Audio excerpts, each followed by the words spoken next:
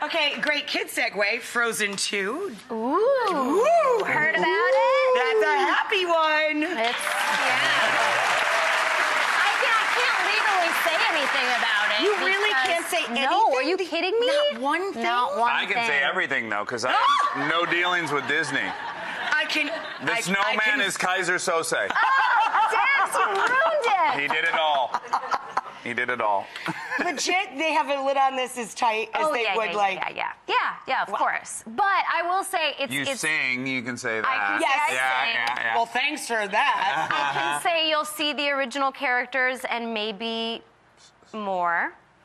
And I, I can say there are a couple hidden things in that I don't know if you can deduce, but in that one sheet poster there are some hidden clues. Some Easter eggs? Some Easter eggs. Wonderful. Um, I want it. Now I gotta stare at the poster more. I will say this: it's taken so long to make because our writers are very cons- they were very concerned with let's not just make episode two of Frozen. Let's make the next story that needs to be told in these girls' lives, like in the life of Arendelle. What needs to be said? What what is impactful from a storytelling perspective? It wasn't like I guess today Anna and Elsa will go to the store, and that you know it wasn't. Although they do go to the store. I just want spoiler alert. They do go to the store. No, once. but you want there to be an issue. There to be yeah, to be something quality that needs content to be said. Exactly. Yes, and tackling something new. yeah, tackling something new.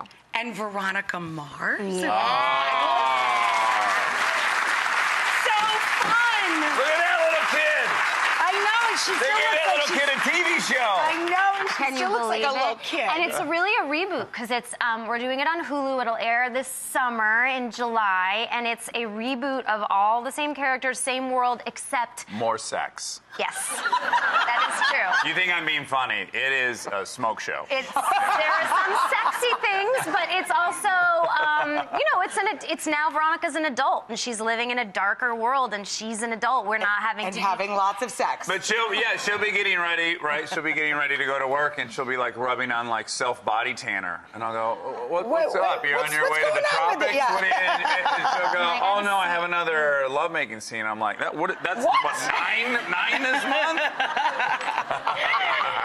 look. You know, uh, Hey. Veronica is a sexy gal, Yeah. and How much sex not is in ashamed. Bless This Mess? Look at that segue. Yeah. Your new How show. much sex isn't Bless This Mess? I'm hoping for more. Uh, This is it. It's an ABC. May I be lucky enough to put on self tanner? Uh, yeah, I think we we do some light making out in the first episode. There's a um, shower scene.